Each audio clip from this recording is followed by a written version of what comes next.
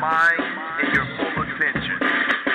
So you say you deal with esoteric information? I never heard of such. Well, you're in for a treat. Blog talk, blog talk, this is the blog talk. I lean L Bay dropping jewels every day. Blog talk, blog talk, this is the blog talk. Metaphysical, we deal with the spiritual. Blog talk, blog talk, this is the blog talk. Alim El-Bey dropping jewels every day. Blog talk, blog talk, this is the blog talk. Metaphysical, we deal with the spiritual. So you claim to be a god? Damn right I'm a god. The maker, the owner, cream of the planet Earth, father, of civilization, god of the universe. Wow, I didn't know that. Wow, I didn't know that. Wow, I didn't know that. Wow, I didn't know that. So tune in or lose, friend. All strategies apply mathematically. The information he drop is real powerful. So get your notepad, it's more than an hour full. Watch your jaw, the crew with watch it talk. Indigenous to the land wherever we stand. First world order, we bring it at home in the first quarter. Invisible lines don't apply, we cross borders. Silly rabbit, knowledge for gods. No matter where you reside, Lodge, Temple, of Mars. So don't fret or proceed with hesitation. Just tune in to Blog Talk to get the information. Peace. Hey, how I tell you, Washington East. It's Brother Faheem Tecumseh El-Bey, filling in for Dr. Alim tonight. All right, he's got a meeting, so he won't have time to uh, to do the blog talk show tonight. So I'm filling in for him again, and so uh, hope you enjoy the lecture tonight. Uh, it'll be about Moors, the Circle Seven, and the Aquarian Gospel of Jesus the Christ and I'm also may delve in a little, little religion here, like the Bible or the Quran, and to give, uh, I try my best to give people a more better understanding of these subjects. Um, a lot of people uh, uh, think there's some or one thing and they're not, there's something else, and so I'm here to clear up a lot of confusion about uh, the Circle Seven, the Aquarian Gospel of Jesus the Christ, the book, the two books that uh, most Moors usually read and but need to study, but don't. Okay, uh, I'm dealing with current events. I know a lot of you heard about the uh, the crisis that went on earlier today in, in Virginia of uh, about maybe six people getting shot uh, know the uh, one person is on critical condition. That is the senator, uh, representative. Uh, uh, I believe his name is Scalise, and uh, they say he's critical, critical but stable. So that could go either way. Let's hope not send, send uh, some of our energies his way. You know, because I know a lot of us we don't wish anybody to get shot or killed. So that's not what we teach. So I'm going to go on ahead with the lecture tonight, for the topic tonight, and start discussing this. All right? Okay. Let me read from the Circle 7 here. Start from the Circle 7. Start from the cover of the Circle 7. It says here, the Holy Koran of the Moorish Science Temple of America divinely prepared by the noble prophet Drew Ali. It says here, divinely prepared by the noble uh, noble prophet Drew Ali. That meaning has been prepared. That means he did not really write this book.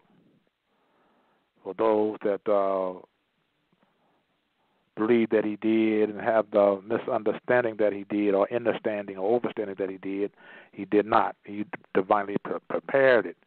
He took excerpts and other stories and other uh, uh, lectures and other uh, paragraphs from other books to compile them and prepare that. It's like, it's like you prepare a meal. You know, when you prepare a meal, you want to make a, so like you want to bake a cake. Okay, you need to have uh, milk. You need to have eggs. You need to have butter and other you know ingredients to bake a cake. You know, he didn't make you didn't make the butter, you didn't make the eggs, you didn't make the uh, uh, the milk. You know, so this is what the ingredients you need to bake the cake, and this is what he did with the Circle Seven. He divinely prepared it.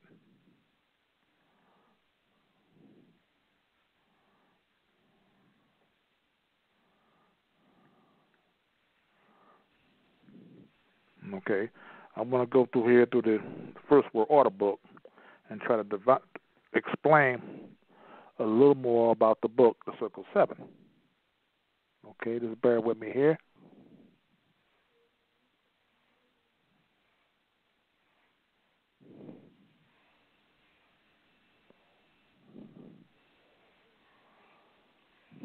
Okay. It says here history, his story.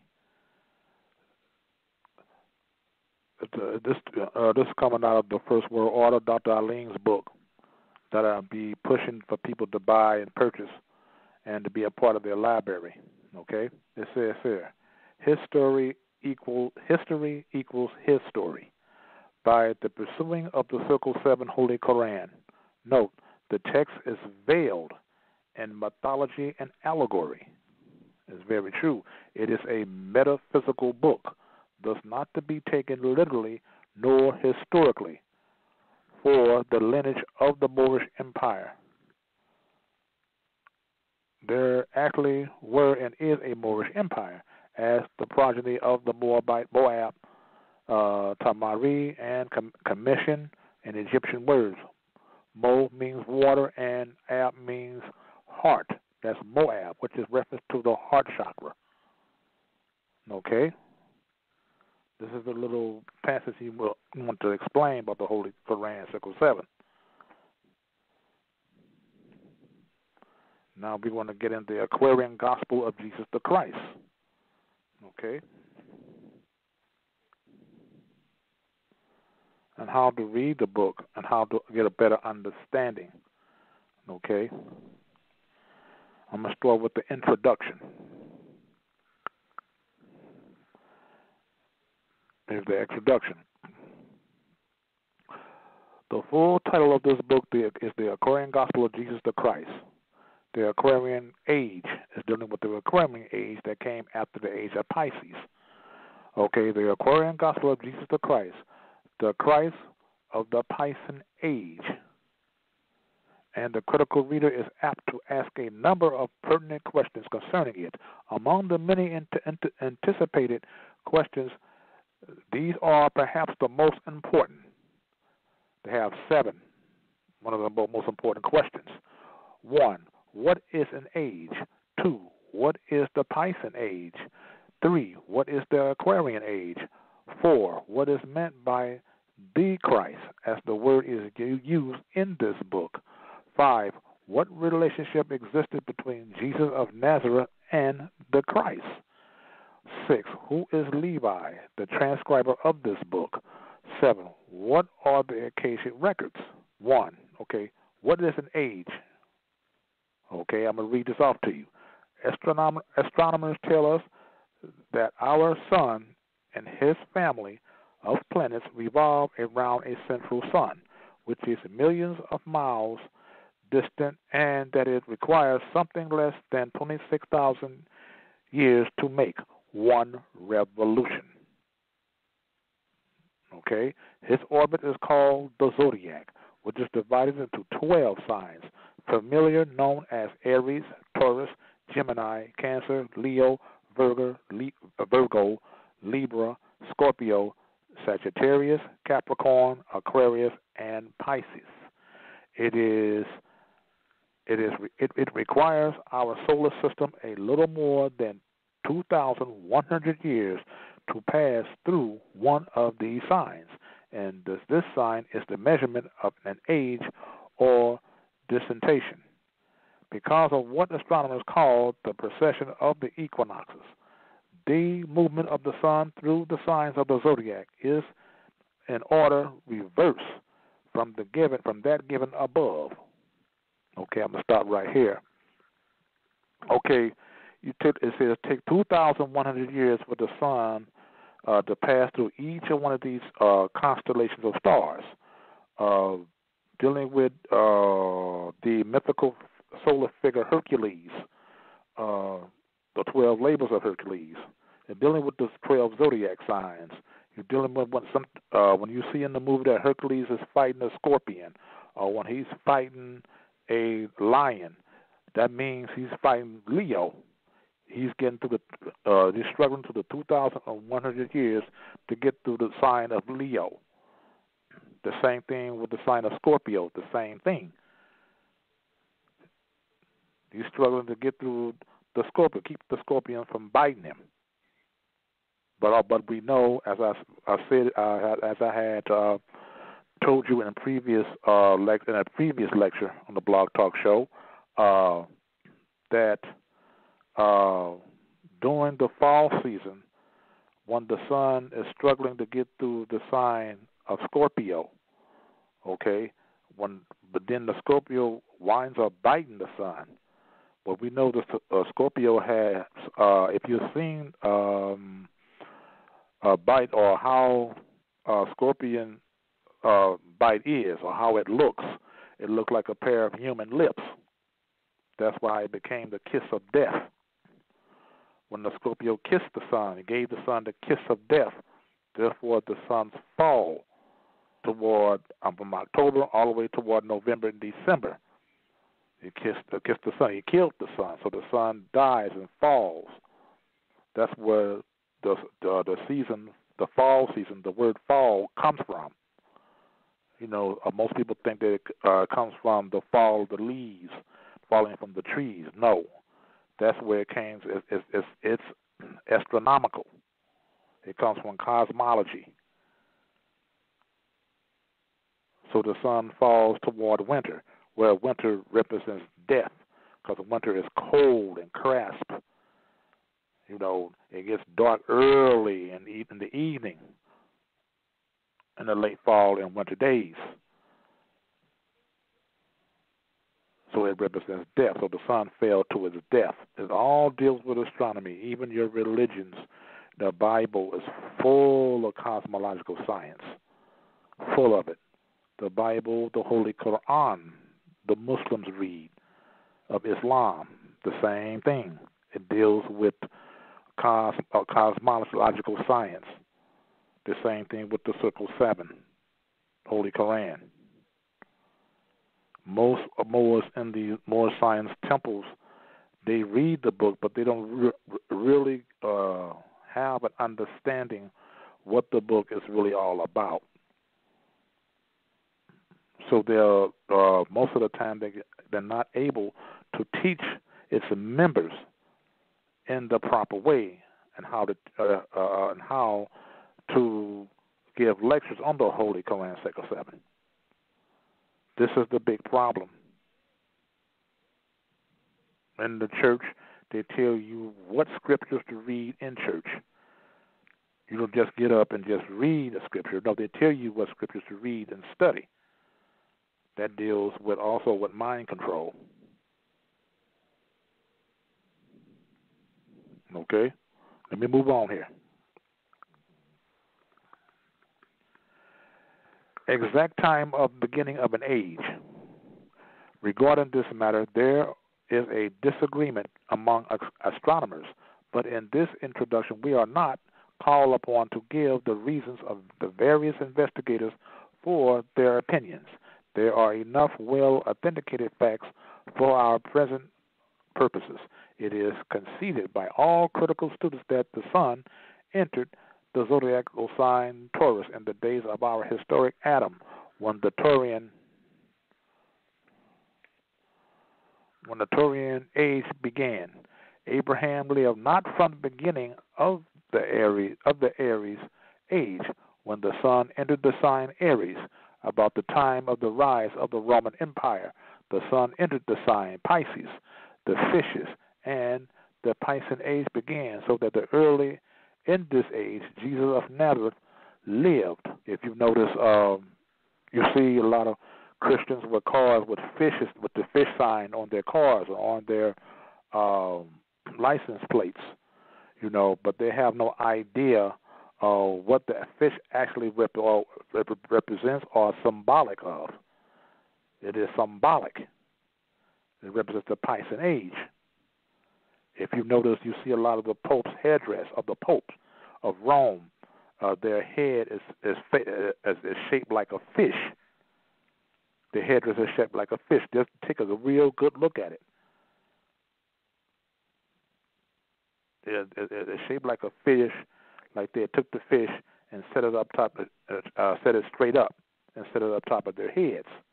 It's the, it's the head of the sign of a fish. But the Piscean age has ended already. At the end of the Mayan calendar, some say uh, we have a little more to the, the, the 2020 for the Piscean age to end. It, it, it, depends who you want to believe and who uh, you're listening to and what you are studying. Okay, let me move along here. What is the Piscean age? The question further the question requires further consideration. The Piscean age is identical with the Christian dispensation. The word Pisces means fish. The sign is known as a water sign, and the Piscean age has been distinctly the age of the fish and its elements, water. In the, establish, in the establishment of their great institutions, John the Harbinger, Harbinger and Jesus both introduced the rite of water baptism, which has been used in some form in all of, all of the so-called Christian churches and cults, even to the present time. You hear, hear, uh, hear, have that, hear, you hear, uh, hear what I said? Let me say it again. Which has been used in some form in all the so-called Christian churches and cults, even to the present time, so-called Christian churches.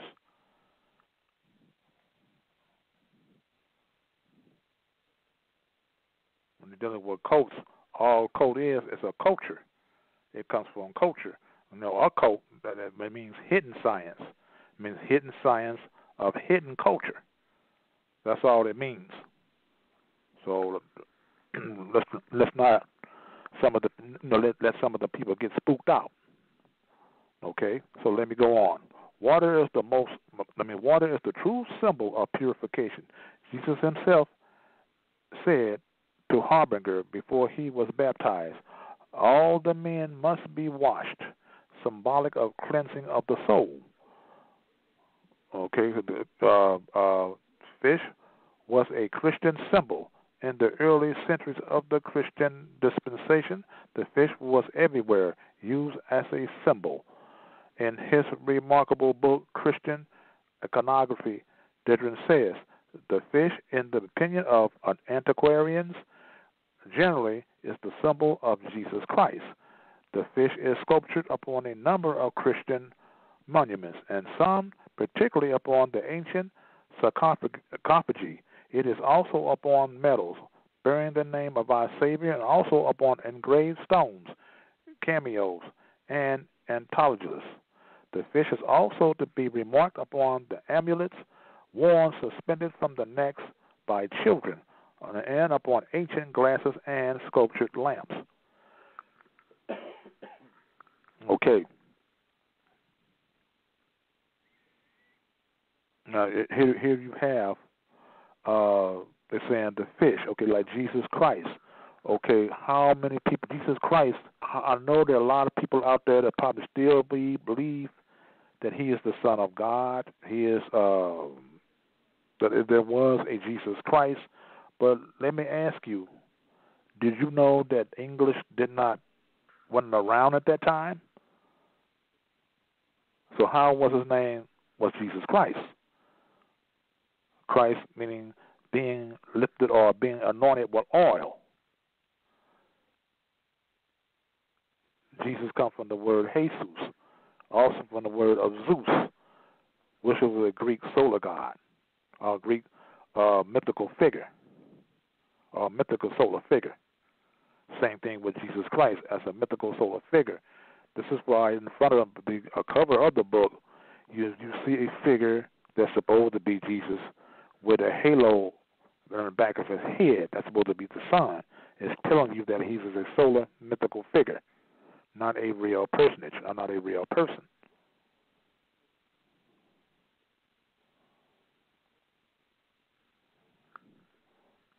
Okay, let me move along here. Baptismal fonts are more particularly ornamented with the fish. The fish is constantly exhibited placed upon a dish in the middle of the table at the Last Supper among the loaves, knives, and cups used at the at the banquet. In the writings of Tertullian, we find this statement: "We are little fishes in Christ, our great fish." The last two thousand years comprising the Piscean Age has certainly been one of water, and the many use, uses of that element have been and fat and emphasized, and sea and lake and river navigation has been brought to a high degree of efficiency. It says here three. What is Aquarian age? The human race is today standing upon the cusp of the Piscean uh, Aquarian ages. Aquarius is an air sign and all the New Age is already noted by rem- remarkable inventions for the use of air, electricity, mag- magnetism, etc. Even navigate the air as fish to the sea and send their thoughts spinning around the world with the speed of lightning. Uh, those of you that have seen the movie, um, this movie, what this little boy, he was the uh, uh, have, have he was supposed to control all the elements of the universe.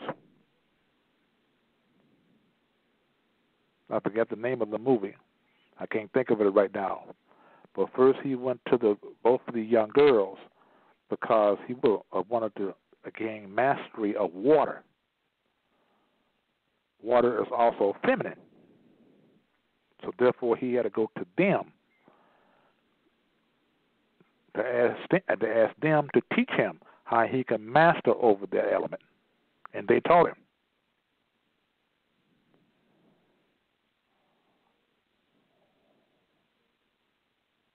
That was symbolic. I can't think of the name of that movie. It's called The Last Something, but I can't think of it quite. Uh, uh, the Last Airbender, I believe the name of the, of the movie.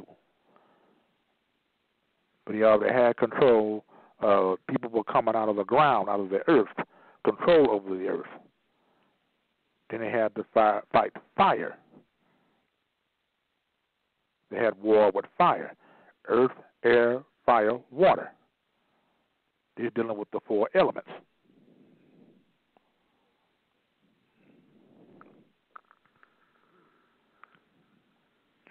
Okay, the word Aquarius is derived from the Latin word aqua, means water.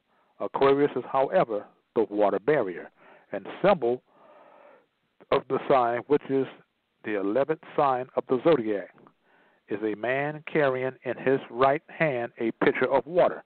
Jesus referred to the beginning of the Aquarian age in these words, and then the man who, who bears the pitcher will walk forth the cross on the ark of on the ark of heaven, the sign and signer of the Son of Man will stand forth. Sky. The wise will then lift up their heads and know that the redemption of the earth is near. The Aquarian age is preeminently a spiritual age, and the spiritual side of the great lessons that Jesus gave to the world may now be comprehended by multitudes of people, for the many are now coming into an advanced stage of spiritual consciousness. So, with much propriety, this book is called the Aquarian or Spiritual Gospel of Jesus the Christ. You notice they say the Christ, Jesus the Christ. They're saying that, that, that that is a title, not actually a name. It's not a name, it's a title. Dealing with the mythical solar, so the solar mythical figure Jesus. As I say to you again, uh, these were solar mythical figures. Some were lunar mythical figures. Some were mythical figures.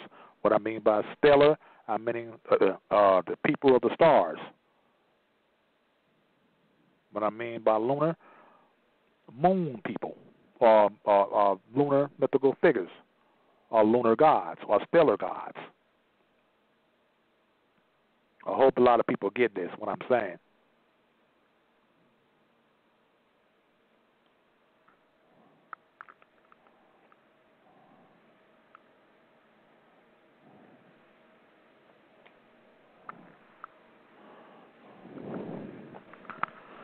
What is meant by the Christ?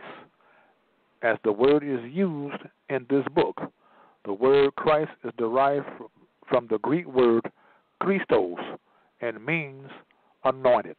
It is identical with the Hebrew word Messiah.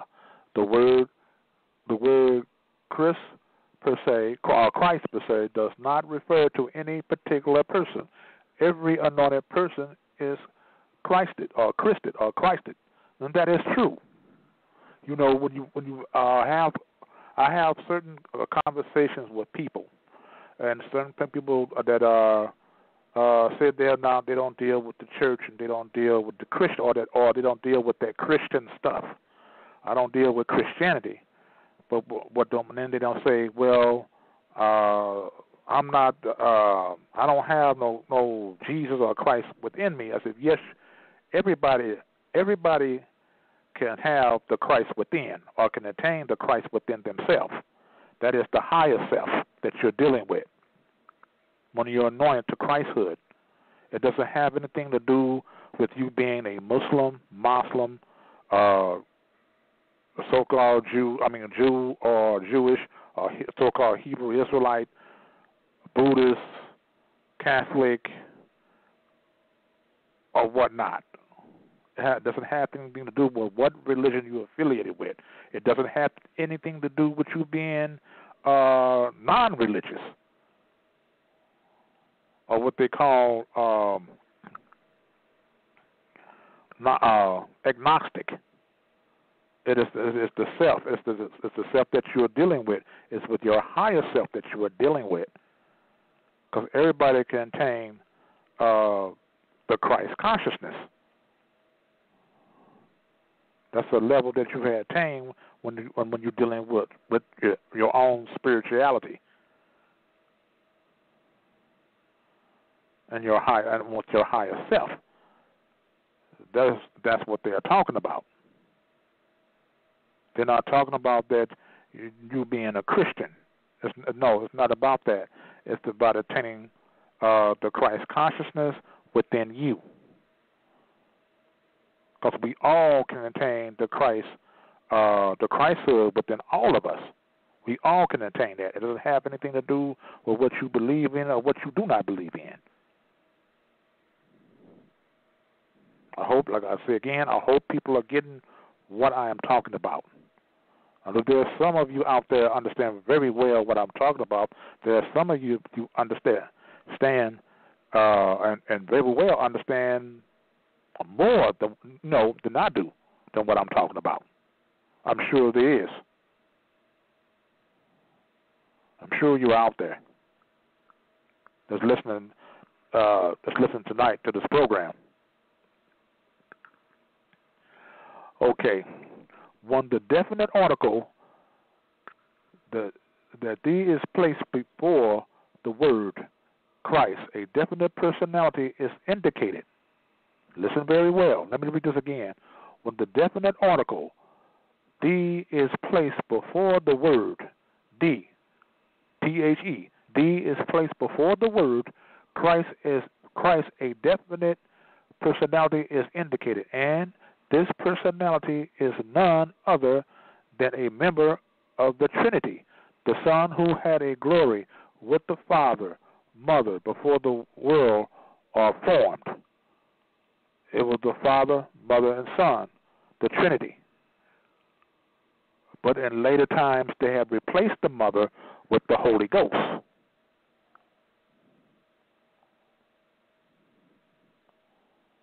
So they wanted to wipe any influence from the matriarch, any, any, any matriarchal matriarchal influence. They wanted to be all patriarchal, which it is not. It is matriarchal and not patriarchal.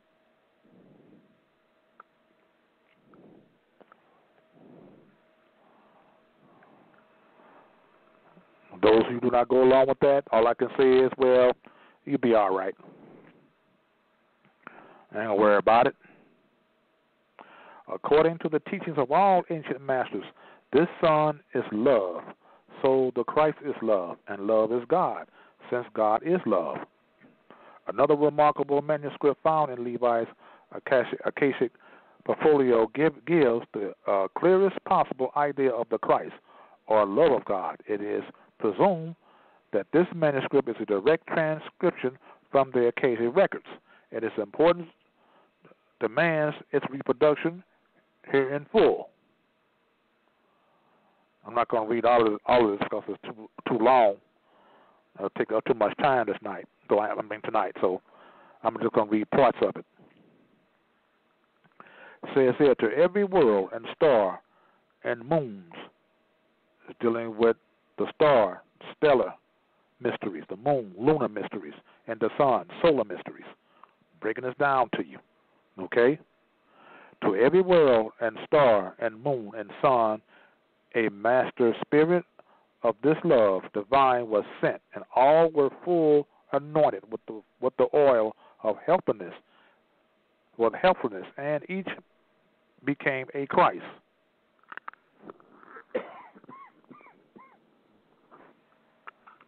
Another passage. It became him for whom all things, and by whom are all things, in bringing many sons into glory, to make the captain of their salvation perfect through suffering. It says in Hebrew 2, paragraph 10.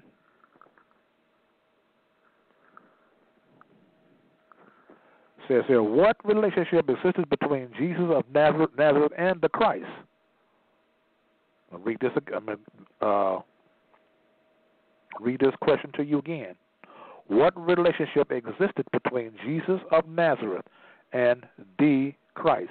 Orthodox Christians, ecclesiastics tell us that Jesus of Nazareth and Christ were one. That this, the, uh, that the true name of this remarkable person was Jesus Christ. They tell us that this man of Galilee was the very eternal God clothed in flesh of man that men might see his glory. Of course, this doctrine is wholly at variance with the teachings of Jesus himself and of his apostles. The Aquarian Masters and Council have formulated an answer to this question, and so well covers all the information required that we give it in full. Here's one. okay.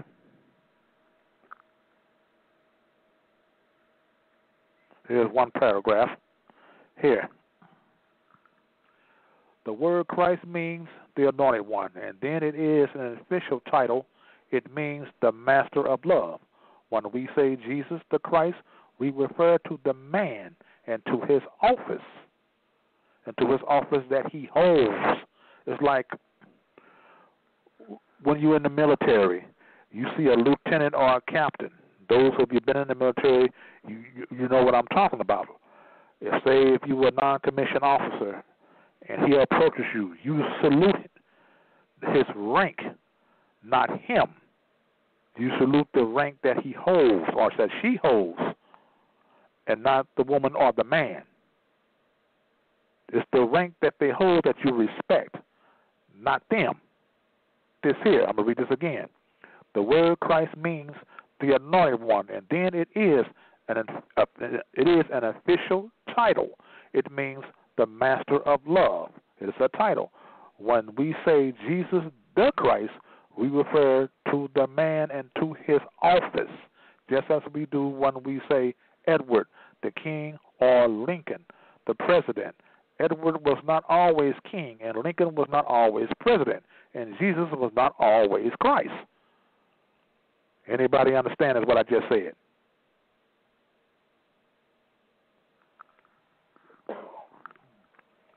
Okay, move along.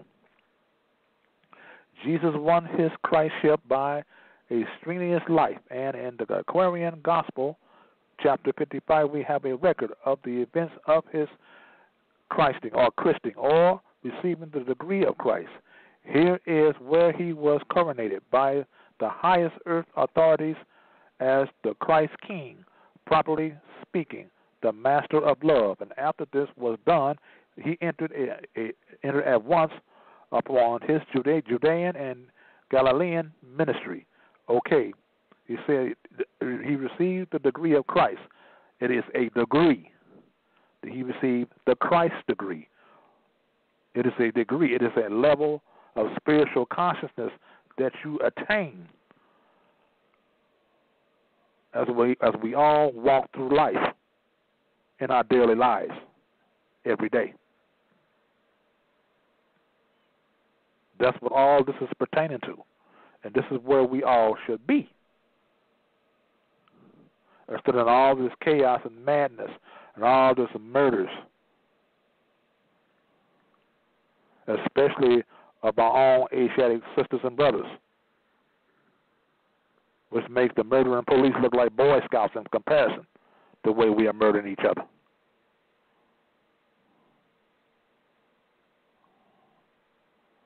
But if we have this going on, if we, if we have if we have, have the Christhood within us, very little or, nothing or not any of that would be going on.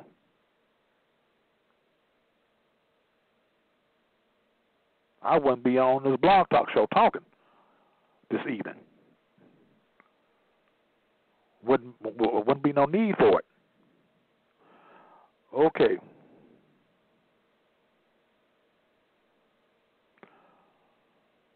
we recognize the fact that Jesus was man and that Christ was God. So that in very that in very true Jesus the Christ was the God man of the ages, meaning that he had the God within himself. Because a lot of us uh we still making the big mistake of looking outside of ourselves instead of the God within instead of the Christ within. We always looking outside of ourselves for an answer, looking for things, looking for something to believe in. But it is yourself that you should believe in. Believe in yourself. When we look for the, uh, for the devil, we're always looking for something or a spiritual being outside of ourselves. But the but the devil is our lower self.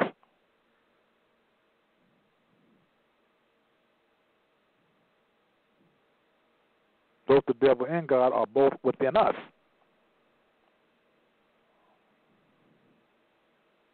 But we have we have yet to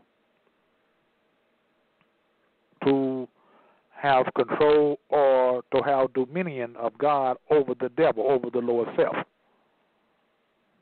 A lot of that that is the true struggle, and that is the true Armageddon that they be talking about. When woman and man both struggle within themselves to overcome the lower self and the evil within themselves or within ourselves. That's that. That's one we. Uh, that's that is the true Armageddon between the higher and lower self. When the higher dominates the lower self.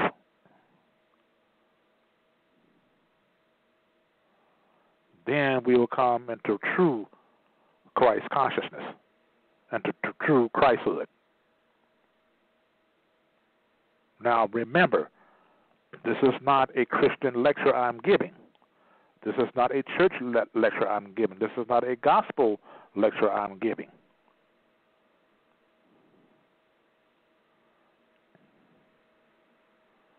We have to remember that. Most of your Christians in your churches don't even have this. Don't practice it. Did it strike you as odd that all over the Union States, in every corner, we have churches in, our, in the Asiatic neighborhoods? Well, then explain to me why is there so much strife why is there so much murder, robbery, assaults, rape, any kind of foul activity you can think of that goes in our neighborhoods? Something is very, very, very wrong. Shouldn't it?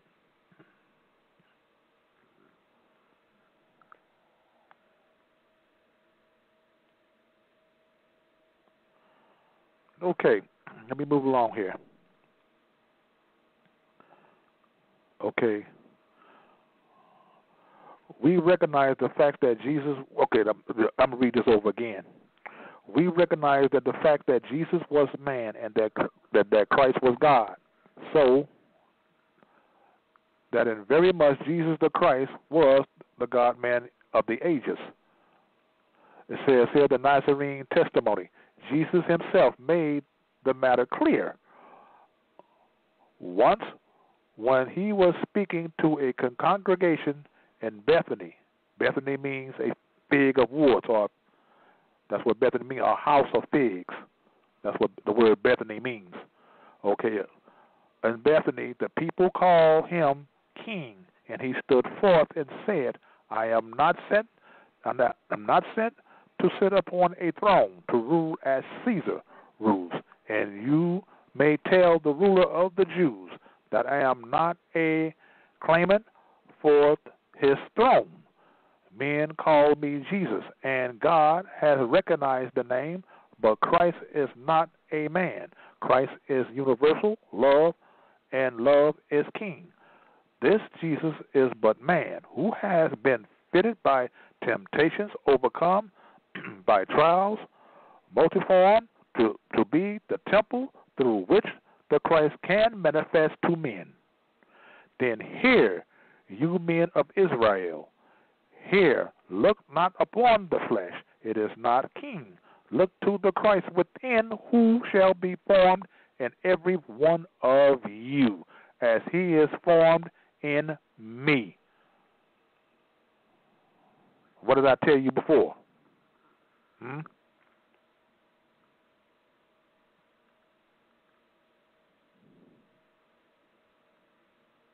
This is what they're talking about. This is the true understanding of what they call esoteric Christianity.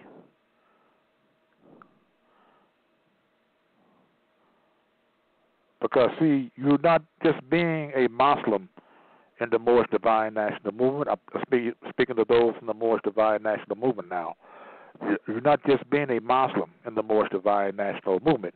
You're also being an esoteric Christian, Muslim, Jew, Buddhist, etc., etc., etc. It tells you in the in the, Moorish Science Temples of America Incorporated when you enter the temple and when you uh, proclaim your nationality in these temples, they tell you to walk down toward the corridor or the aisle to meet the Grand Sheik and shake his hand, and the, and the secretary will issue you a nationality card. On the back of the card, it has that we should give homage to all these sciences, to Jesus, Buddha, Jesus, Jesus, Buddha, Muhammad.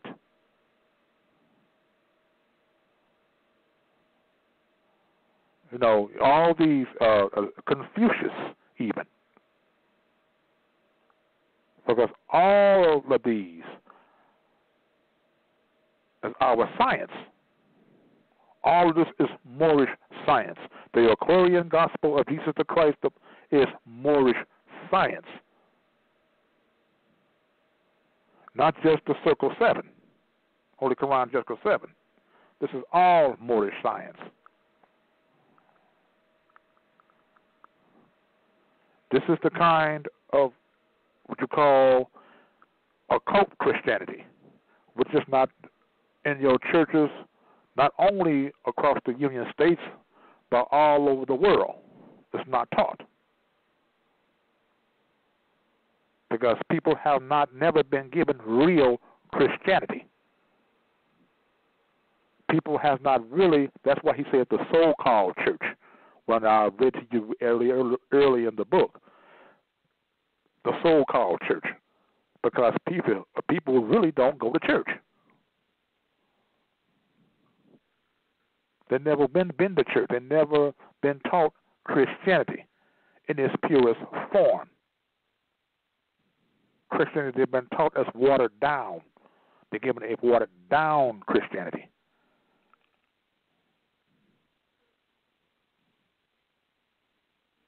a lot of uh, dealing with a lot of cosmology, astrology, astronomy, metaphysics.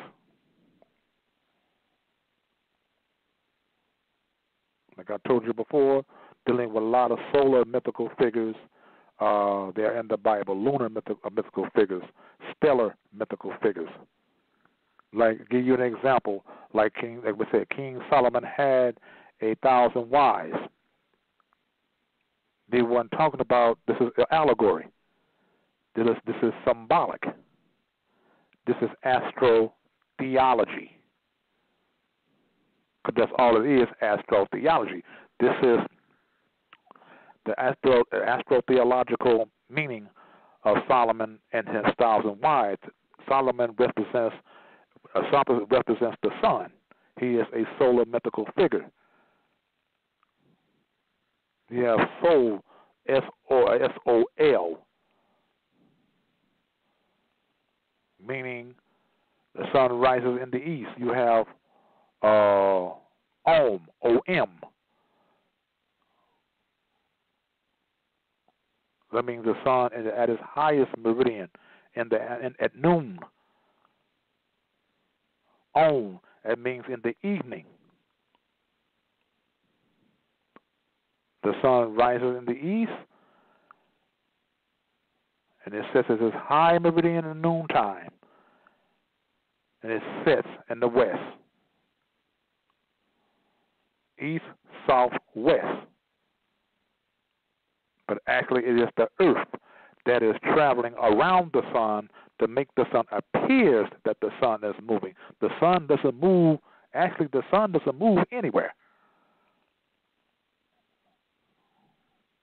It is the earth and the moon that does the traveling around the sun.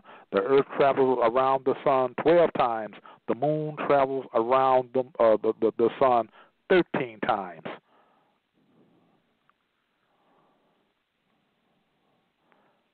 Thirteen and twelve equals the five. Two and five is seven. They circle. They circle. There you you have the circle seven. It brings you back to the Holy Quran of the Moorish Science uh, Temple and the Moor uh, Temple of Science of the World, the Circle Seven.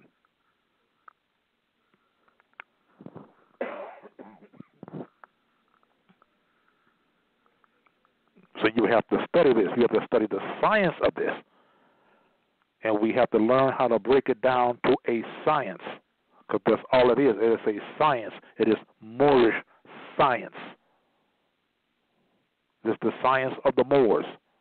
It's, it's our science. The science is even in your deck of cards. How many books in a deck of cards? Four. The deck of cards, or the four books in the deck of cards, represents the four seasons of the year. How many cards that's in the book of God, uh, in the uh, in, the book of cards? in the deck of cards. How many cards? 52 cards in the deck of cards. 52. 5 and 2 is 7. So there are 52 weeks in the year. Therefore, you complete the full cycle or full circle. 5 and 2 is circle. You have, again, you have the circle 7. That is Moorish science.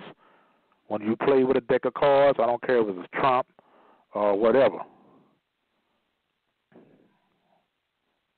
Whatever game you're playing, you're dealing with Moorish science. That's Moorish science, whether you know it or not. Okay, let me move along there. I hope a lot of you get that when I'm uh, when I'm trying to uh, tell you.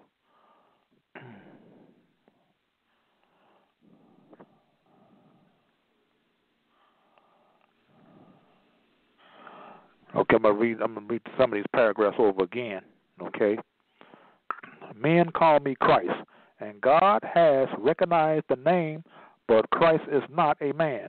Christ is universal love, and love is king. This Jesus is but man, who has been fitted by temptations, overcome by trials of multiforms, to be the temple through which the Christ can manifest to man, because we are our own temples.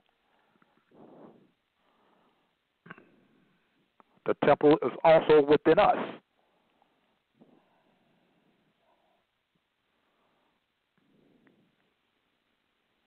Okay, let me move on here.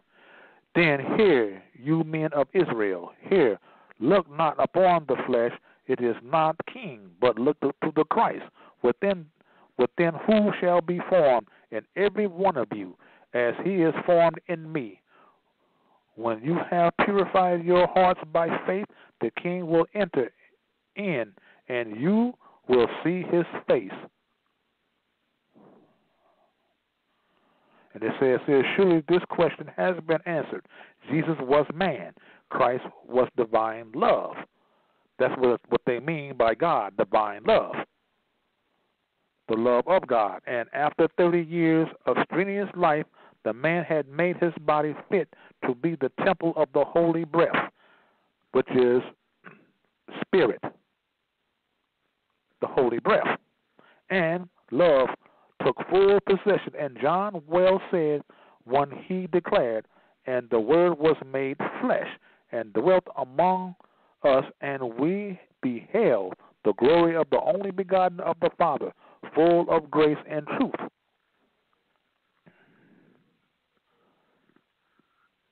All right. It says, and after 30 years of strenuous life, the man has made his body fit to be the temple of the body of breath and love. Took full possession. See, when everybody talking about 30 years, they're talking about uh, there are 30 degrees between each zodiacal constellation of stars. There are 30 degrees between each of the 12 zodiacal constellation of stars. That's where the months get its 30 days from. That's the where uh, June gets 30 days uh, from. 30 days.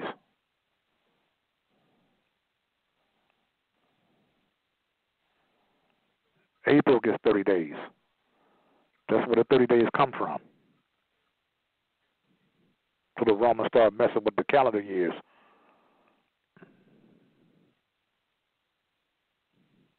Now you have January, March, and other months have 31 days. Because it was 360 days, but now it's 365, 366 during leap years. All of this deals with astrotheology and cosmology. All of this cosmology, astrotheology, and all of this is Moorish science believe it or not. Ripley's believe it or not.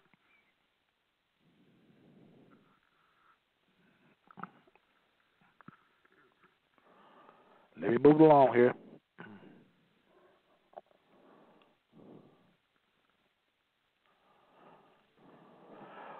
Who was Levi? The describer of this book regarding the person personality of Levi, we are permitted to write but little. Suffice to say that he is an American citizen. Hmm. Whatever.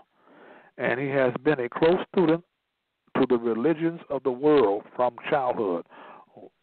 When but a boy, he was impressed with the sensitiveness of the finer ethers, that means energy, and believed that in some manner they were synthesized plates on which sounds, even thoughts, were recorded. With avidity, he entered into the deeper studies of etheric vibration, determined to solve the great mysteries of the heavens for himself.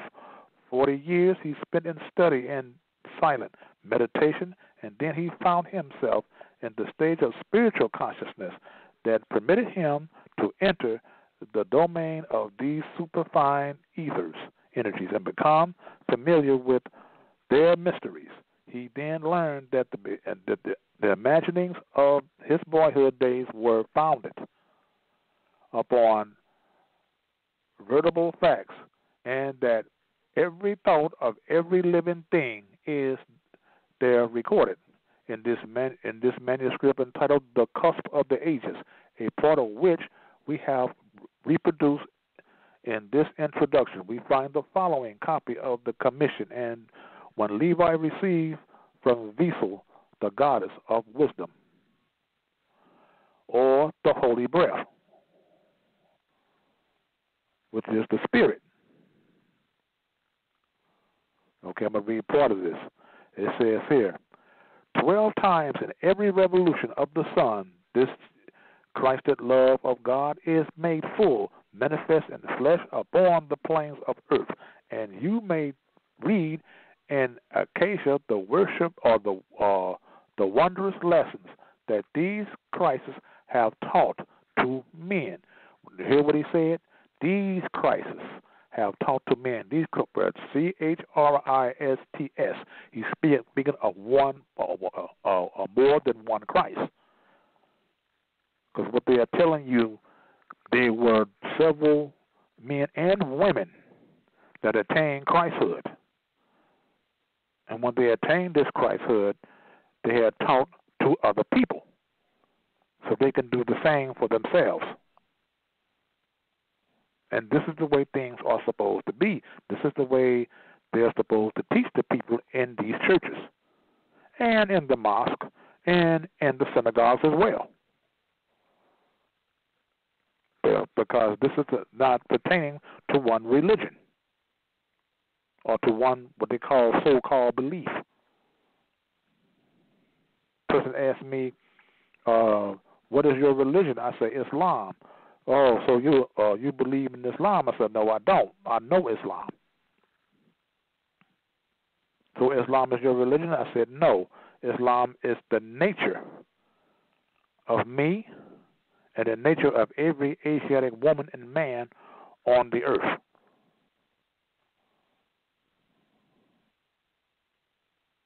Or uh, uh, uh, uh I can rephrase this uh, every Asiatic man, woman, and child on earth.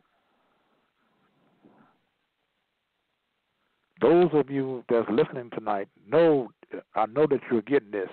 Those are some of you are, but there are some of you that may be having a hard time grasping on what I'm talking about.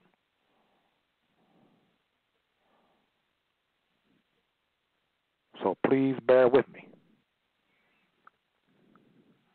I usually don't uh, uh, teach these uh, subjects. I usually don't. I usually teach on nationality and birthright principles and social political issues dealing with nationality and birthright principles.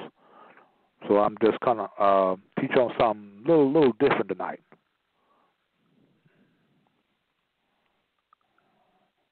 Okay. Now Levi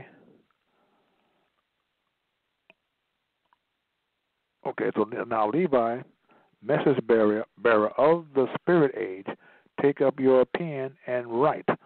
Write full the story of the Christ, who built upon the soul, I mean upon the solid rock of yonder circle of the sun, the Christ whom men have known as Enoch, the initiate. Write of his words as prophet priest, and seer, right, of his life of purity and love, and how he changed his carnal flesh to flesh divine without descending or without descending through without descending through the gates of death because you don't have to do that you can have uh, some uh, uh, uh, some type of spiritual death and resurrect and a divine spiritual or have a divine spiritual resurrection. This is what they're talking about. You are resurrected from the lower self or lower spiritual self to the higher spiritual self, to a higher level of spiritual consciousness, which is the Christ consciousness, which is the Christ within. There's maybe there's some uh, church members are listening to this tonight also. And maybe some of this you want to take back to your preachers or to your church. but I am to warn you. The preachers might not want to hear it because they know that they, that that you found out that they have been lying to you and that they have been misteaching you and misleading you, and they have to find a new job for themselves, not working so good now uh, for the mind control system now that they have out here in, the, in these church institutions, or what, or, uh, as I should say, mind control institutions. This is all these churches and all these rest, of, all the rest of these religions are all about. They're about mind control. They're not being. They're not about being spiritual. They want followers. and they're working for their masters to keep you all in the church, mosque, synagogue, cathedrals dumb down. Because a lot of you Muslims or Muslims and these mosques have not been taught, have not been truly taught, have not been truly taught real Islam. Okay, let me move along. I know I'm stepping on some toes here, but I don't give a damn. When it comes to the truth, I don't apologize for that.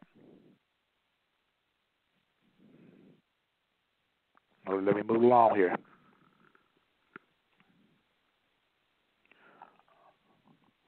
I'm gonna read this. I'm gonna read this here. Right of his works as prophet, priest, and seer. Right of his life of purity and love and how he changed his carnal flesh to flesh, divine without descending through the gates of death. And you may write the story of Melchizedek or Melchizedek, this Christ who lived when Abraham lived, and pointed out to men the way of life through sacrifice, who gave his life of a willing sacrifice for men. And you may write the story of the Prince of Peace, the Christ who came as babe in Bethlehem meaning house of house of comfort, Bethlehem, and travel every day of life that man must tread. He was despised, rejected, and abused, was spit upon, was crucified, was buried in a tomb, but he revived and rose a conqueror over death that he might show the possibilities of man. He mean that he rose from his lower self. He was reborn into his higher self. The same thing with uh, Jesus, uh, the Jesus story in the Bibles. The same thing. If you study the the ancient mysteries of Egypt or Mizraim or Hekupta, whatever you want to call Egypt, you know, uh, you give a better understanding if you study astrotheology. I suggest you read the book uh, Ancient Egypt, The Light of the World by Gerald Massey, book one and book two. And also, I suggest you read a book of the beginnings, book one and book two, also by Gerald Massey. These uh, two two volume books should be also be in your library for every serious student. They want to get a clear and true understanding of certain teachings of Islam, of your Islam, of your Christianity, of your Judaism, or, or Buddhism, whatever, or whatnot.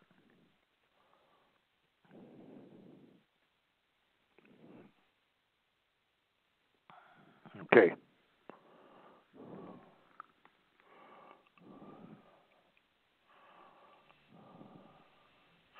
He was despised, rejected, and abused, and well, oh, no, I read that already. I'm sorry.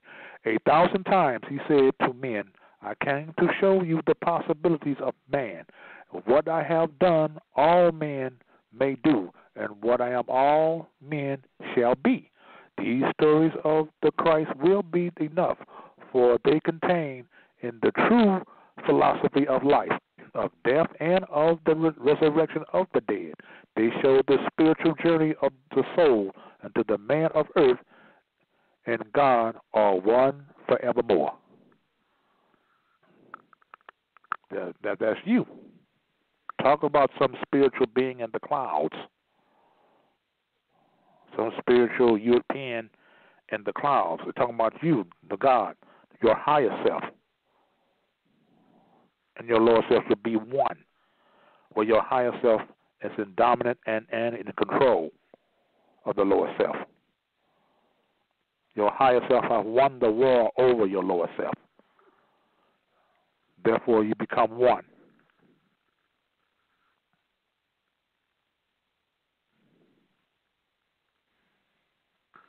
Okay.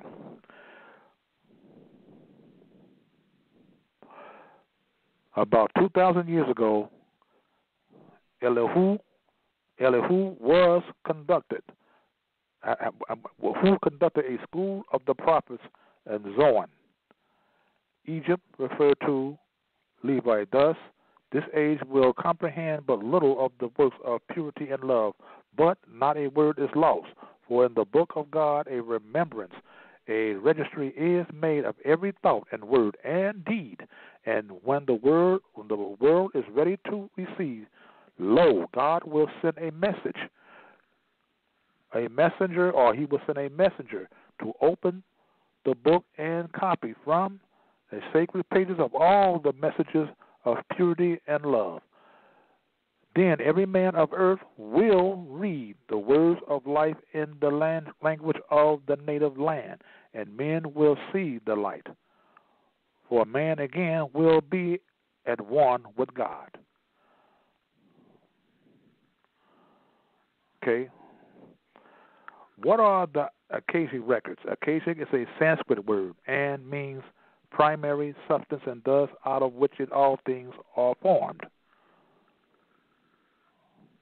Also, Sanskrit also means Sanskrit. Remember, we we are dealing with astrotheology here and cosmology.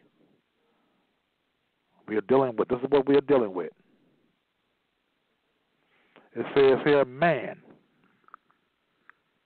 What is man that thou art mindful of him, or the Son of Man that thou visitest him? the question is asked.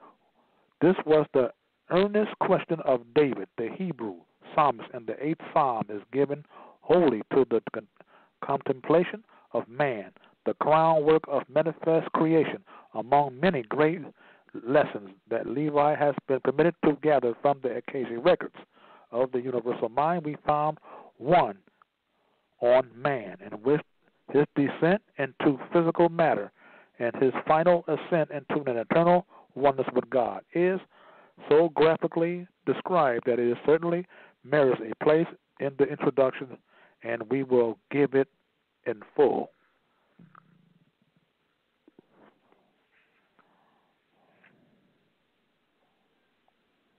Okay. Going to read some passages here.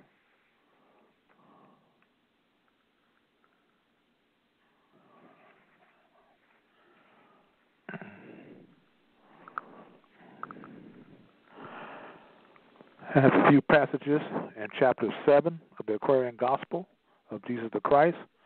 It says in, in uh, paragraph 15, or verse 15, A mighty work is theirs, for carnal men want not the light. They love the dark, and when the light shines in the dark, they comprehend it not. Now, where do you hear that from? Where did you hear this? Comp- where did you hear this paragraph? This sounds very, very familiar, doesn't it? These are some of the works that the prophet has compiled and prepared for us to read in the Circle Seven. These, the, the Aquarian Gospel of Jesus the Christ, is, is nothing but Moor science. All the Holy Prophet was doing was gathering all the works from the Aquarian Gospel of Jesus the Christ, unto thee I grant, a, a book that has been by the Rosicrucians, and all other works. He has gathered all these, which is our science. They stole it from us. They took it from us. We must take it back. And this all what the prophet Noble Drew Ali has done. This is the understanding that a lot of us in the movement has to understand. How in the hell Prophet Noble Drew Ali gonna take uh, steal anything, something that's already his or that's uh, uh, that belongs to us in the first damn place? Okay. Verse 16 We call these sons revealers of the light, but they must have the light before they can reveal the light. And you must teach your sons and set their souls on fire with love and holy zeal and make them conscious of their missions to the sons of men. Teach them that God and man were one. What did I tell you earlier? And that's what I told you earlier? I hope a lot of you getting it out there. Okay? But that through carnal thoughts and words and deeds, man tore himself away from God, debased himself. And that's what's happening. This is what's been going on around the world today with ourselves, with our sisters and brothers. teach that the holy breath would make them one again, restoring harmony and peace. That is the spirit, the holy breath. One brother told me that he's never been spiritual. Told me that that showed me and that told me he didn't know under or understand what spirituality really is.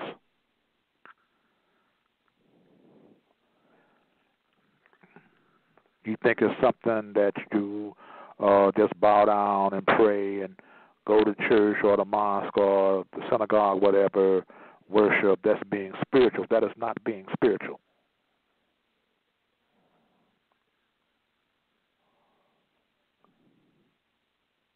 Okay? Here we go. Again, Elihu met his pupils in the sacred grove and said, No man lives unto himself, but every living thing is bound by cords, and every other living thing. But blessed are the pure in heart, they will love and not demand love in return. Which is, and this is me saying this, which is uh, what you call um, uh, or you can say unrestricted love, but it's out. There's something called something else. It's called uh, love without conditions, conditional love. I'm gonna read this again. Blessed are the pure in in heart, for they for they will love and not uh, not demand love in return. That is what you call un unconditional love. Because that is the best love there is. Believe it or not, whether you want to accept it or not. That is the unconditional love is the best love there is, sisters and brothers. They will not do to other men what they will not have other men do unto them. There are two selves, the higher and the lower self. The higher self is human spirit clothed with soul, made in the form of God. The lower self, the carnal self, the body of desires, is it is a reflection of the higher self, distorted by murky, by murky ethers of the flesh. The lower self is an illusion and, and will pass away. The higher self is God in man and will not pass away. Where did you where did you read this at? Does it sound like the one on ones? Hmm? To sound like the one on ones in our teachings, in our lectures?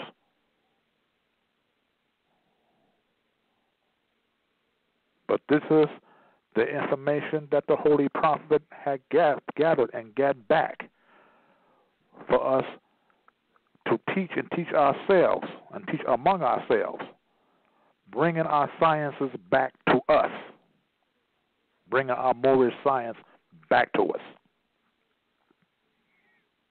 Come on, all right, let me move along here.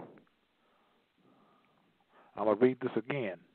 The lower self is an illusion and will pass away. The higher self is God and man and will not pass away. The higher self is the embodiment of truth. The lower self is truth reversed, and so is falsehood manifest. The higher self is justice, mercy, love, and right. The lower self is what the higher self is not. Justice, that is, I'm going to stop right here. Okay, the higher self is justice.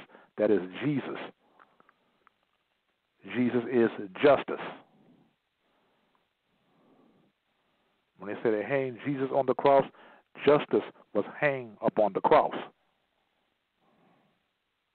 And Christ anointed or oil anointed Cristo or Crisco, where you get Crisco oil from.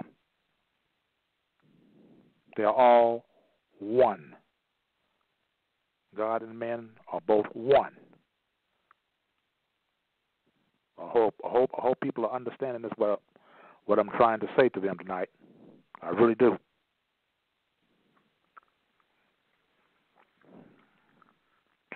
Okay.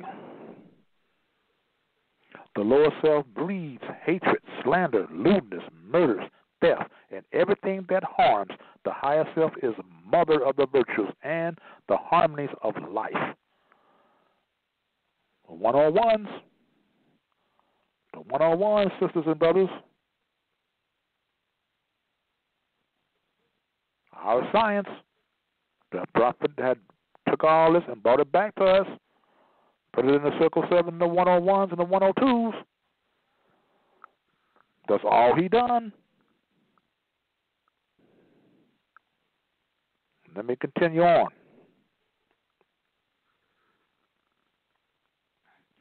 The lower self is rich in promises, but poor in blessedness and peace. It offers pleasure, joy, and satisfying gains, but gives unrest and misery and death. It gives men apples that are lovely to the eye and pleasant to the smell. Their cores are full of bitterness and gall. If you would ask me what to study, I would say study yourselves. Hmm. This is the Aquarian Gospel of Jesus the Christ?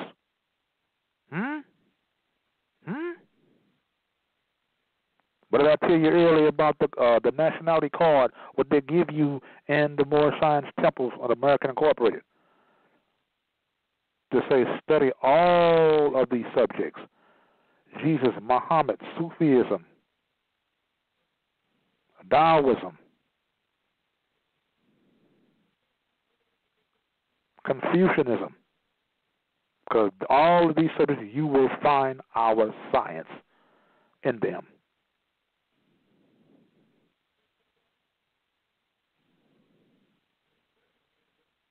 Telling you this, I'm, I'm saying to you this night, If, and, if, and if you want to uh, learn more about our science, please, if you can find the book, The Aquarian Gospel of Jesus the Christ by Eliphas Levi. Name is Eliphas Levi. The Aquarian Gospel of Jesus the Christ. Those of you that like to study, read, and comprehend things. It will give you an overall understanding of our science, of our moral science, the overall understanding of the esoteric Christianity and other religious religions. Believe me.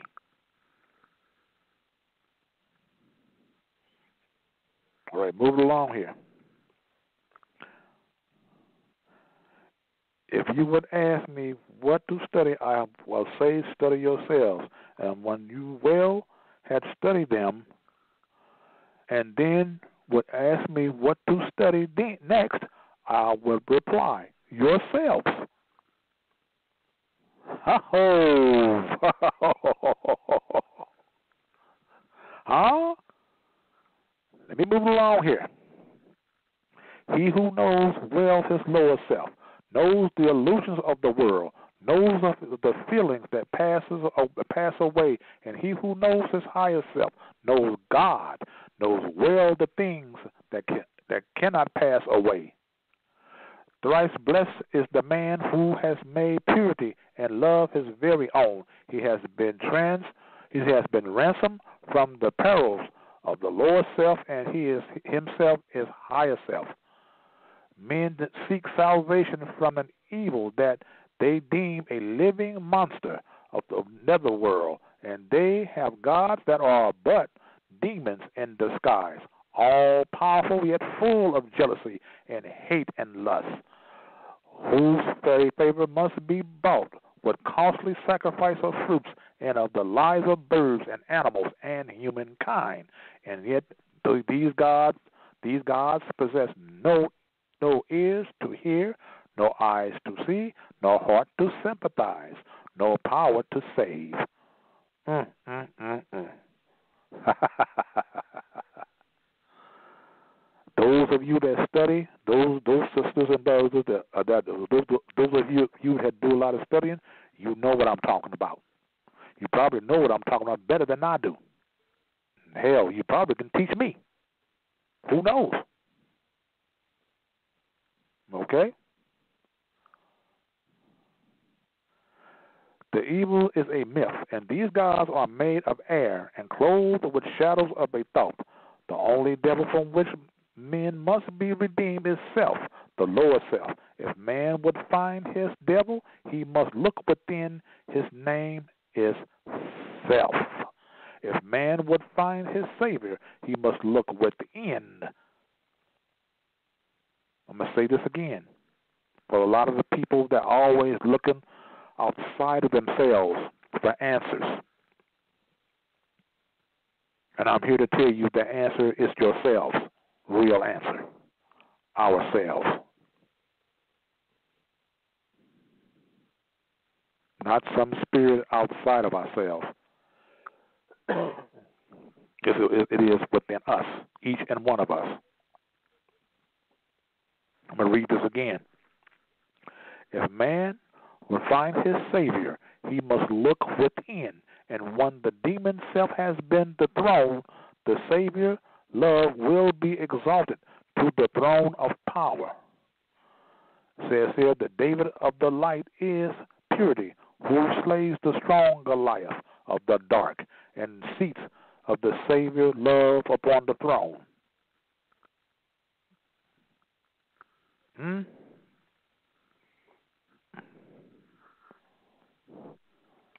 So there we have it.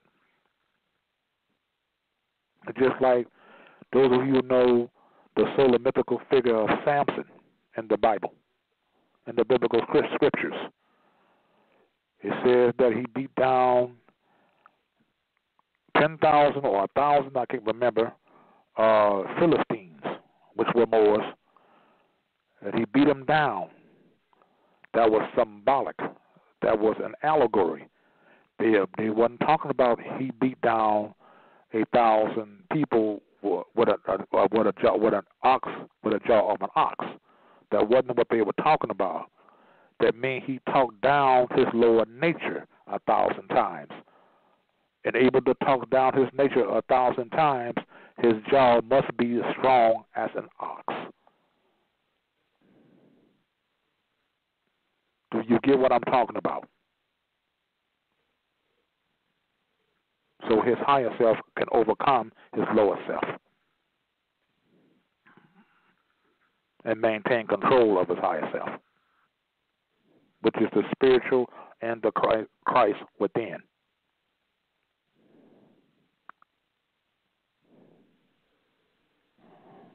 Okay. Let me move along here.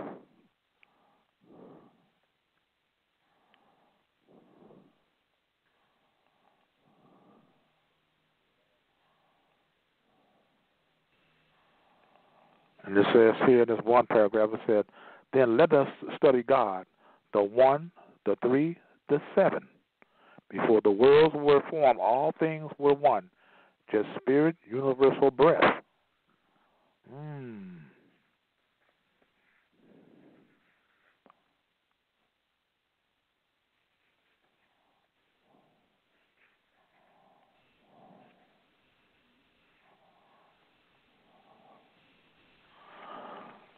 So this is what we all need to do.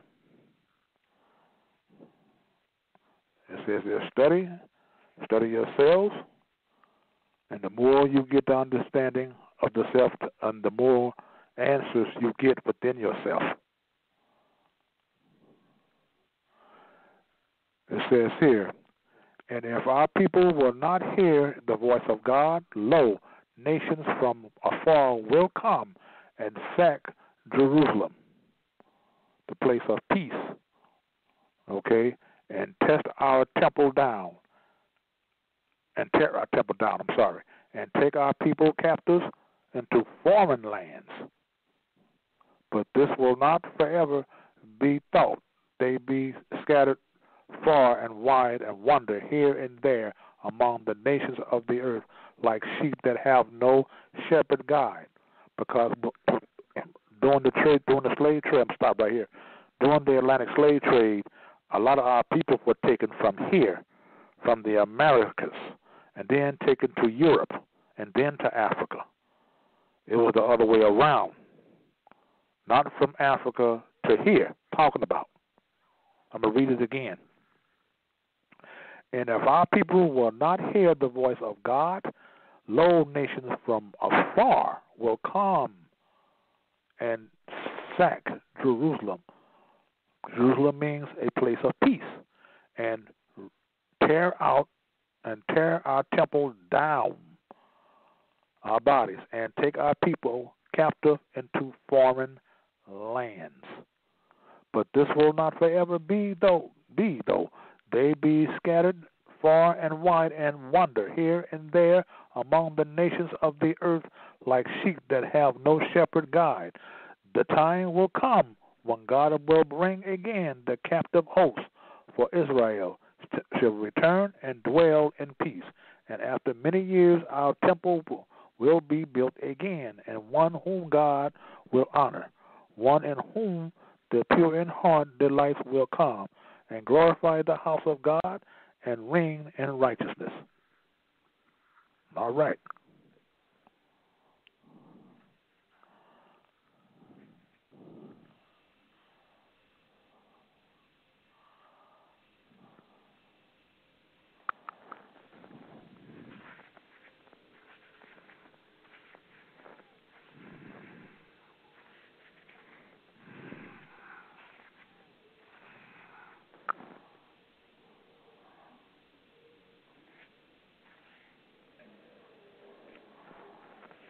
They're uh, dealing with a lot of these. Uh, there are different books. Uh, I suggest y'all to read. Also, the book, uh, uh, and you know I'm going to push the book, The First World Order, by Dr. Salim El Bey.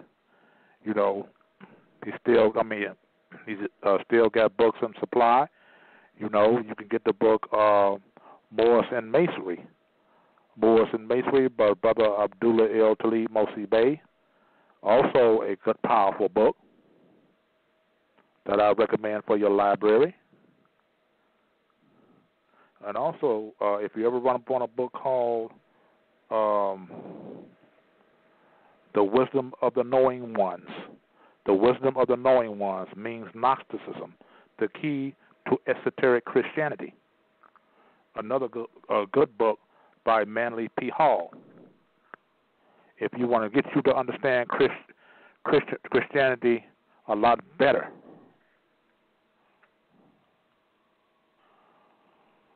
Okay.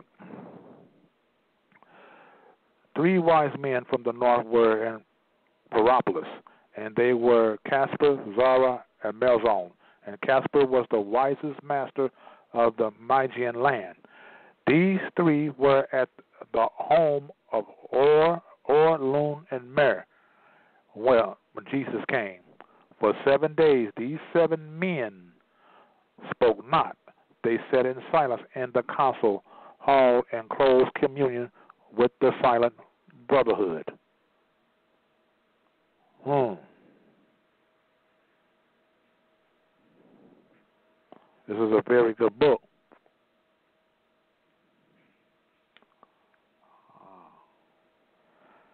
A lot of people say, "Oh, the prophet he stole that. He stole that from the Aquarian Gospel of Jesus Christ." No, he didn't. He got it back. And, and he got it back for his people to study and read so they can better study themselves and understanding themselves. Or I can say, so we can study ourselves and better understanding ourselves, who we are and what our mission is on this earth.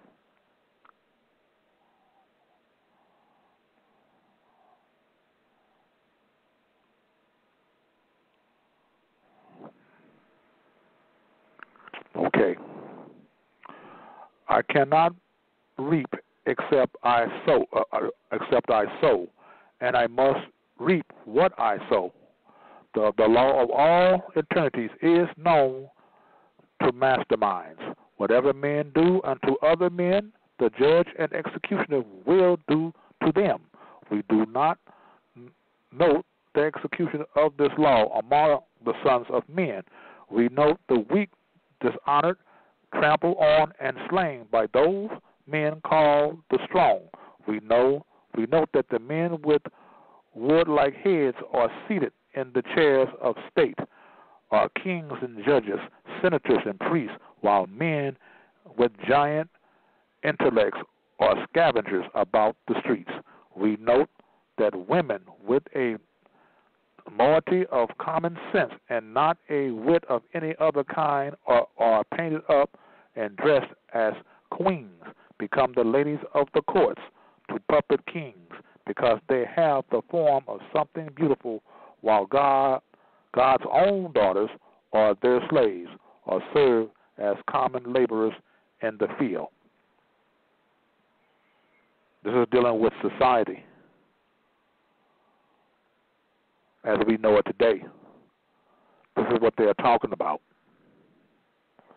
Now I'm going to move on to the book, The Wisdom of the Knowing Ones Gnosticism, the key of esoteric Christianity.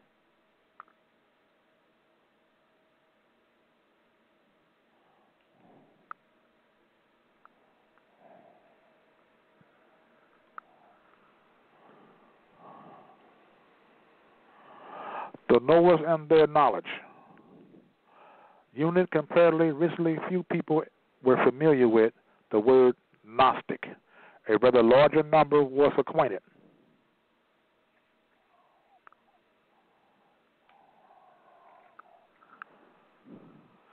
With this antonym, agnostic, both are derived from the Greek gnosis, usually translated as knowledge an agnostic is thus a non knower, one who denies all knowing of ultimate realities, which, while a Gnostic is one who professes knowledge of such feelings. And this is where a lot of their Christianity has come from. This is where a lot of it comes from Gnosticism. But at one time, they had killed off all the Gnostic preachers and the Gnostic preachers. Why? Because the, the people will find out that they have been taught a lie. And the church is nothing but a lie. Could not let that keep going on.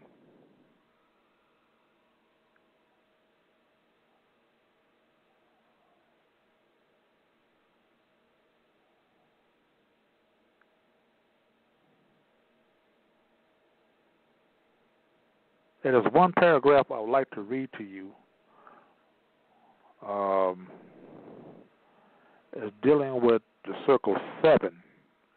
And I can find that page.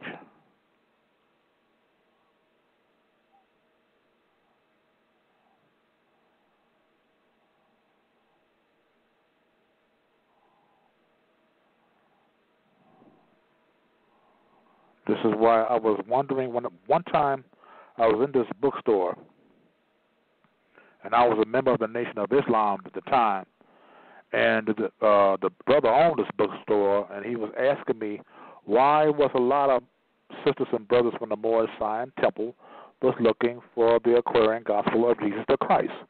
Why were they looking this book? But at that time, I was under the teachings of uh, Minister uh, Louis Farrakhan. I don't have to say no more. So I told them I didn't know. I don't know why they were looking for. I don't know why they were looking for this particular book. Because I did not understand a lot of esoteric, uh, esoteric science at that time.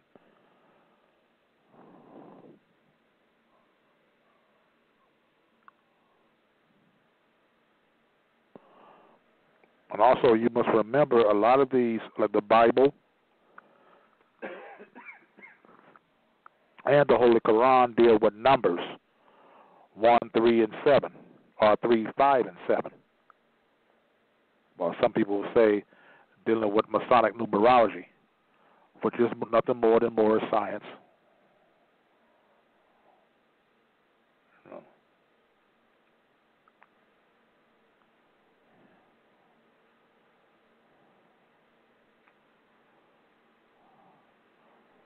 Because we know that the perfect man is circle. I mean, the perfect number for the perfect man is seven.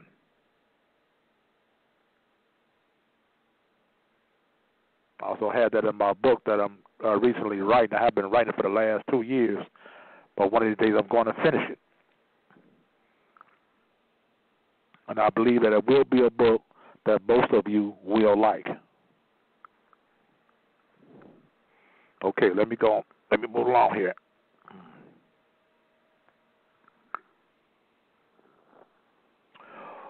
One needs to keep in mind, however, that gnosis is not primarily rational knowledge.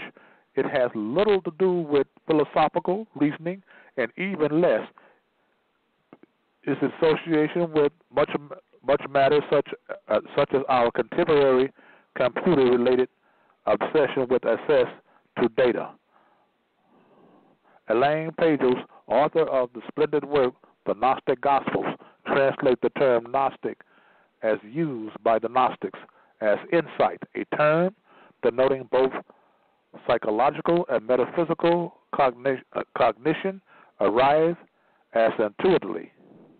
Okay, here we go.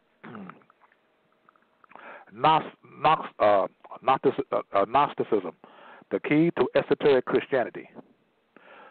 In the first century of the Christian era, the intellectual world was extending its inquiries along the lines set down by the teachings of Plato and Aristotle. Plato had set up the doctrines of causes. His philosophy was devoted to those larger and general truths which may be defined collectively as universals. Though or through him, the conception of an organized universe was introduced introduced to Mediterranean civilization.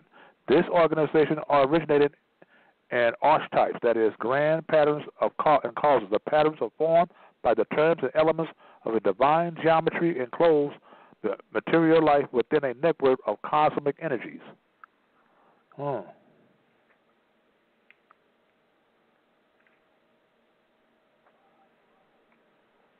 Okay.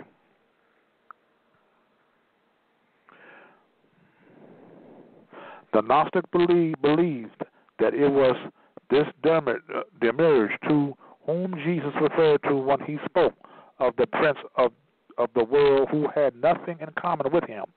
The demiurge was the personification of matter, the monad, of the material sphere, the seed of the of the world within which locked the patterns of all generated things.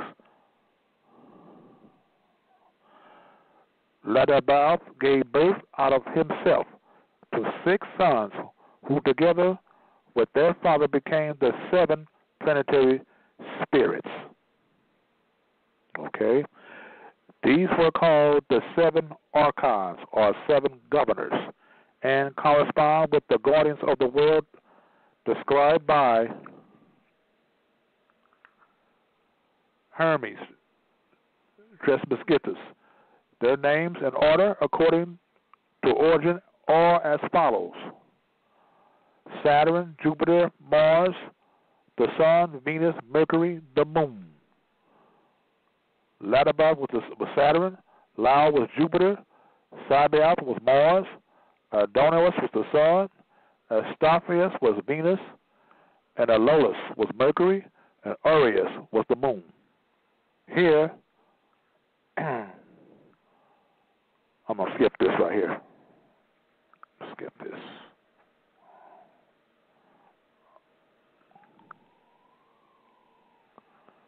Okay, this is dealing with the number seven.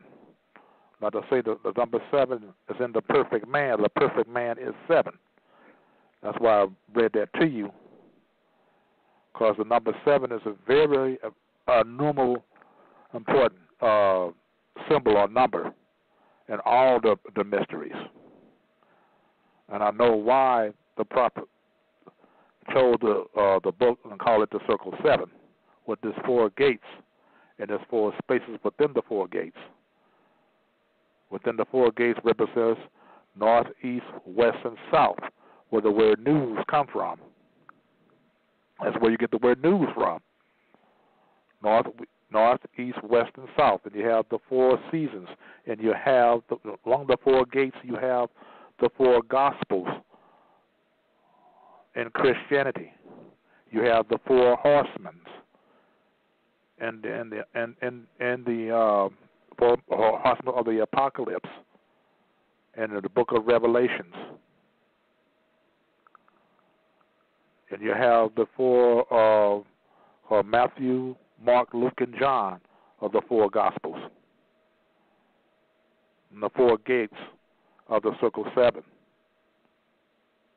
And within the four gates are the perfect man because the perfect man is seven. This is our science.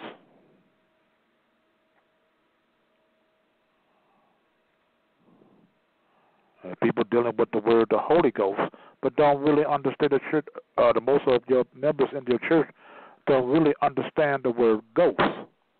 They think it's some kind of spookism, but it's really not. You know, I can read it to you right here. It says here the word ghost is is, from the German word Geist. and its original form, the term signified a breath or motion of air. Our word, our word Geist, as applied to an agitation of the atmosphere, comes from the same root the Holy Ghost or Holy Spirit is the mover of the substance of the material creation. Thus, we have a basic trinity of will, wisdom, and activity. And just like you have uh, in, the, in the Gospels, you have uh, Jesus' sister was named Mary. His mother was named Mary. Then you have Mary Magdalene. That was the feminine trinity I deal with the feminine trinity. Things that, you know, are so much to learn about uh, esoteric Christianity, Islam, and Buddhism and Judaism. There's so much to learn. It's like um, an ocean full of ink, and you're trying to write it in one book, and you never would do it most of us will die will die in our lifetime before we even learn anything close when we even touch the surface of all the knowledge that is in the world today.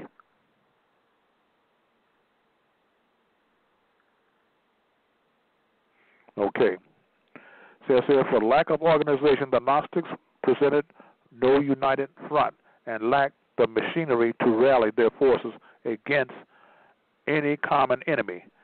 At that time, the, rise, the rising Christian church was the enemy of all pagan movements. Now, uh, what is a pagan? A pagan is only a person who worships nature. Well, what is nature? Nature's law, nature's God.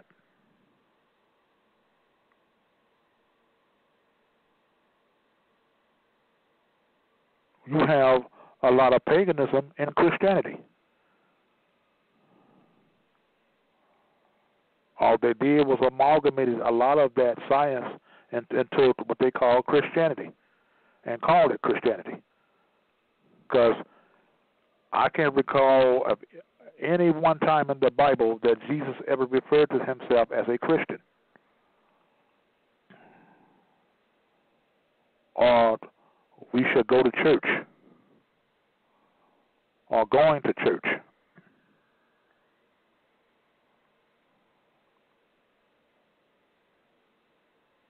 You ought to hear the word Christianity, or Christmas for that matter, which means Christ child or Christ son.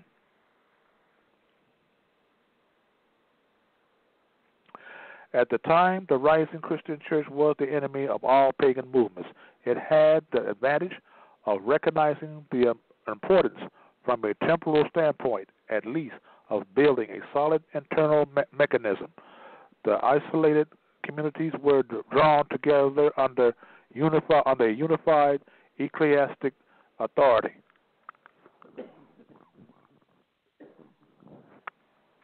Excuse me. As a result of this premeditated program, the church was in a position to impose its will by force, if necessary, upon the scattered and unorganized pagan schools. Gnosticism spread by a process of free growth. It unfolded like a plant, extending according to impulse and with no dogmatic concepts. It was therefore extremely liberal and by constitution non militant. It suffered from the uncertainties natural to extreme liberalism. The Gnostics have been held responsible for the rapid development of the temporal authority of the Christian church. I'll read it again have been held responsible for the rapid development of the temporal authority of the Christian church. The ante-Nicene, the ante-Nicene fathers united with united their resources to, to stamp out the Gnosticism. They had failed the church. They had uh, had they failed the church. No, excuse me. I'm sorry. Had they failed, the church would itself had ceased so far as a political authority was concerned. You hear what I said? Do you understand what I said? I'm gonna read this again. the anti the ante-Nicene fathers united their their resources to stamp out Gnosticism. Had they failed, the church would itself had ceased so far as a political authority was concerned. The early bishops learned the important lesson that a religion that a religion, religion must be organized in order to survive as a temporal institution. They learned their lesson so well that organization has been a primary consideration from their time to the present day. It may be reasonable to ask if the church had any real justifications for its program for exterminating the Gnostics.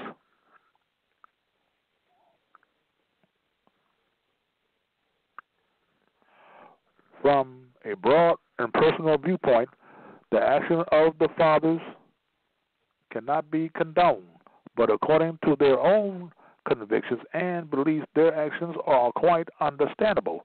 The Gnostics accepted the Christian concepts of Christ into their own systems and interpreted the Christian mystery by means of their elaborate system of uh, uh, heterodox mythology.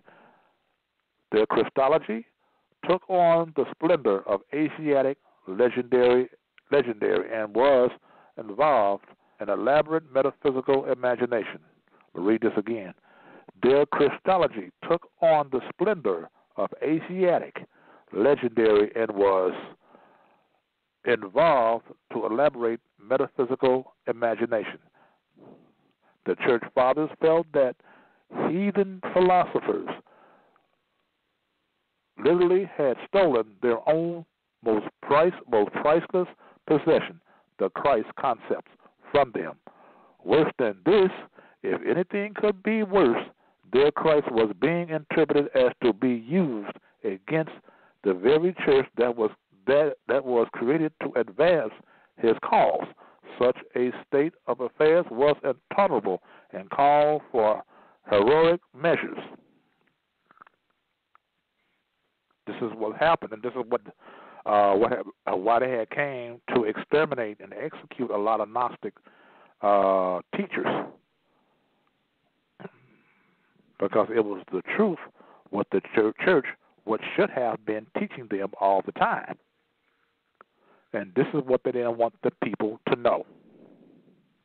This is what they didn't want the people to know. They want people to know that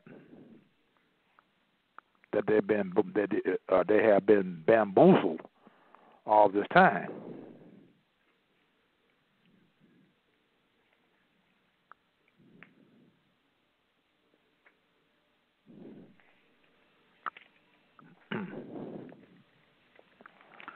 okay, it's getting late. okay, so I'm trying to get this in. Okay, said uh, the grimoires and the so-called keys of Solomon probably originated from the Gnostic system. The Gnostics also had some uh, diagrams, some of which have survived, in which the universe itself becomes a great mand- mandala symbol.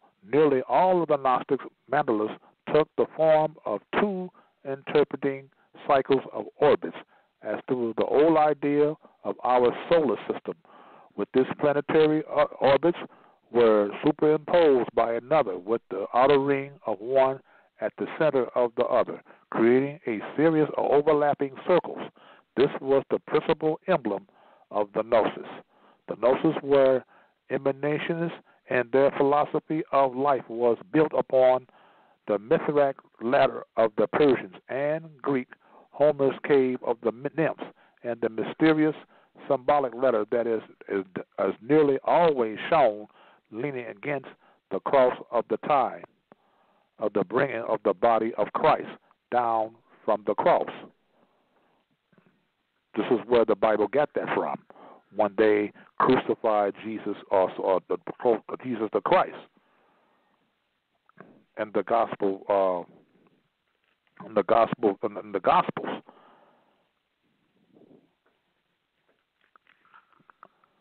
The latter was a Gnostic symbol and also a symbol of aspiration. The latter in Egypt was tipped so that the top of it pointed toward the constellation of the seven stars. The great bear was the symbol of initiation into the mysteries and of the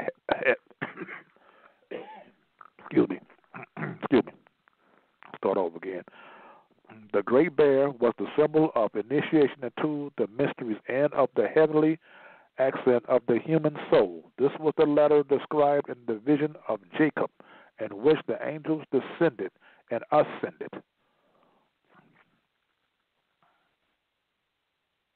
Okay, they're getting ready to cut me off, so I'm try to get this in here. This was a basic Gnostic concept, later to be found in the early writings of the Rosicrucians.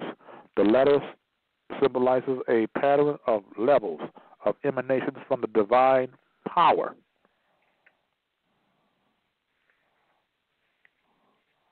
Coming down in waves, and uh, and another like the tides along the shores, bringing divine light down into the abyss of matter.